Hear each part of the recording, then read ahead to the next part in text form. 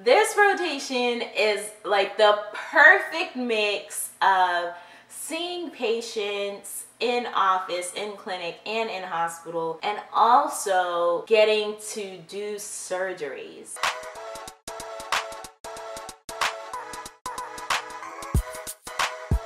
Up you guys, it's Adanna. Welcome back to my channel. If you have not seen any of my other clinical rotations, recap preview thing, you can go ahead and type that into my search bar and all of those videos will pop up. But today I am going to be talking about my women's health rotation slash my OBGYN rotation. That is currently what I'm in right now. I loved it. Oh my freaking goodness, you guys. I love this rotation.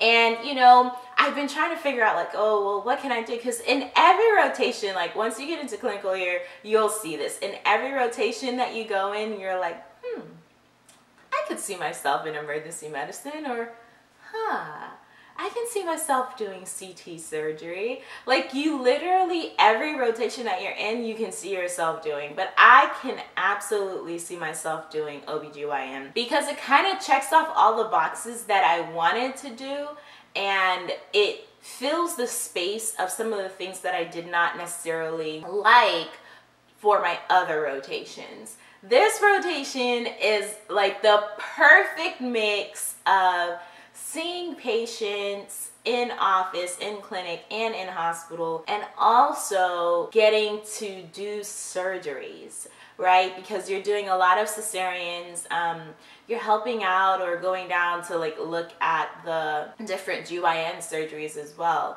And I'm sure if you're with like a private practice, depending on what affiliation that physician has, you will be the one that is doing all of those surgeries with them, or you'll just kind of be in the office. So it depends on where you're working. Like currently I am in a hospital, a teaching hospital that has a well, it's not really a free clinic, but kind of like a sliding scale clinic that is attached to the hospital where you see patients in the clinic and then you can also see all of the inpatient um, patients that are coming in through the ED or just coming in for regular checkups um, because there are like ultrasounds and sonographers that are doing stuff across the hall from us. And if they are going into labor like the women that are coming to be seen by then then they come and go to our side and you know we have to admit them and put them on L&D and then see them on the unit like the mother baby unit. So it's really really cool.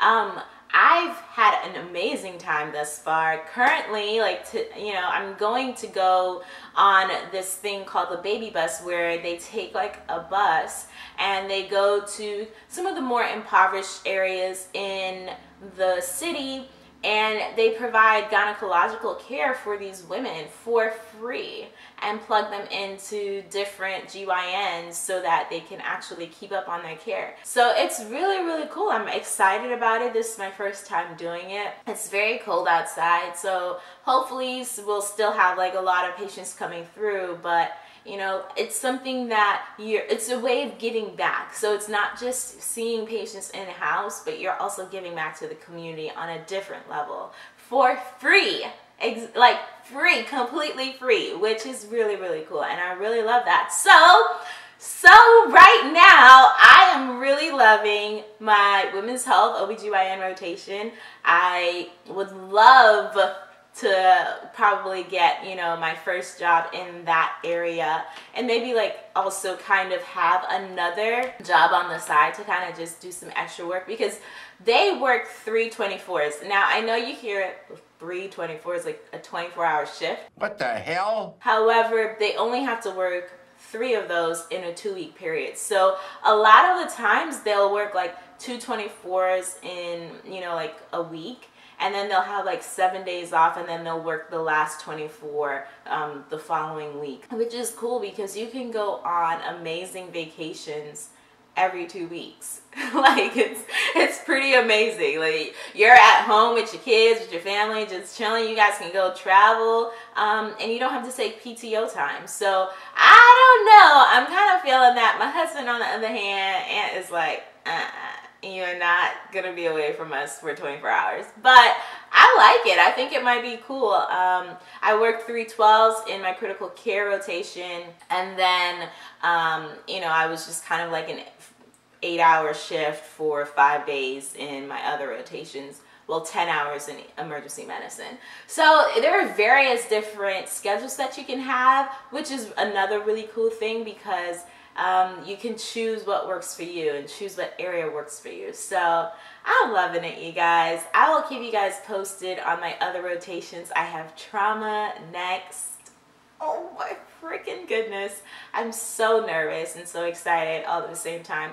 I need to like freshen up on my suturing skills. I'm doing that like it's been pretty cool because in every rotation that I've had, I've had to do some form of suturing. So, you know, I'm staying fresh, but I definitely need to kind of just freshen up a little bit more on like my sub-Q stitch um, and just kind of get ready for trauma because I will be doing it in two weeks, you guys. It's two weeks. So I'm excited about that. Stay tuned for that. I will tell you all the different traumas that I've seen and um, how I feel about them. Well, if you guys have any other questions, please leave them in the comment section below. Thank you guys so much for watching and following me on this journey. Go ahead and subscribe to my channel right now and follow me on Instagram at Adanna the PA.